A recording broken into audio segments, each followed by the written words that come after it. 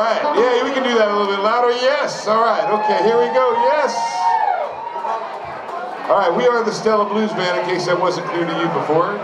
Maybe you were looking for another band. This is the Stella Blues Band playing here.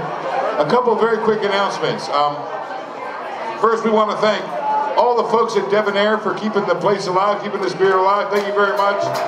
Great venue. We're really pleased to be here. We want to thank our sound man, Pete, in the back there. Wait, wait. We want to thank our Senior Vice President for audio and video engineering over here, Chris Lipper. If you go on Chris Lipper's page, you can uh, you can probably get a video of the show tonight. We want to thank Cam, our merchandiser person over there. Cam, say hello, Cam. Make sure you go see Cam and all the beautiful things he's done over here.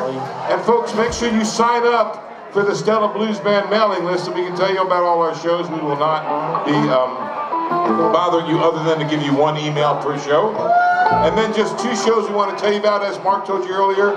December 9th in Washington, D.C. at Gypsy Sally's. Stella takes it on the road. I mean, you know, it's a train, it's a plane, it's a drive, it's easy to get to.